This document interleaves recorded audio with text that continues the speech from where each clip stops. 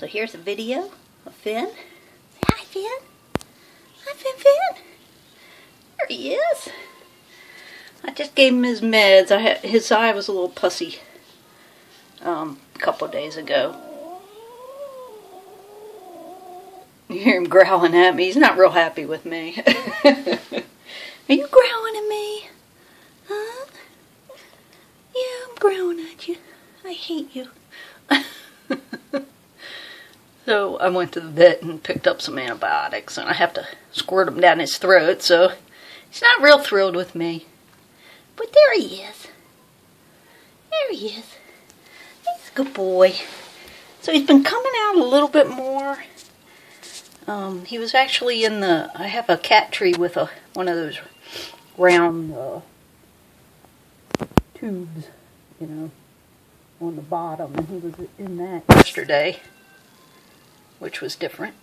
Yeah. Hi, Finn. How you doing, huh?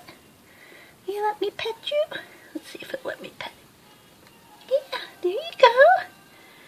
There you go. It's okay. It's okay. There you go. He's been swatting at me pretty good, so I, I, uh, kind of glommed onto him yesterday and got my husband to help me clip his nails again because I hadn't clipped his nails for a while. So he he uh, drew blood the other day when he whacked me. But in the morning, he gets up here and uh, two of my other cats, Mary, Doc, and Dee, they come to the door, and he just gets all crazy. He gets he purrs and he chirps to them and he just loves to talk to him. And he slams into the door, kind of trying to rub up against him. So I haven't let him out yet because I I don't want any fights, and um, he's really he really gets wound up when he sees the other cats. He's he's a I would call him submissive, but um, you know he's probably going to smack at him and stuff like that. So I I've been keeping him uh, still keeping him in here, especially since I have to give him meds.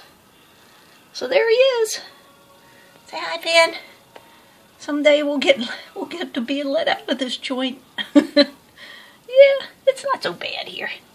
It's not so bad. No. So that's it.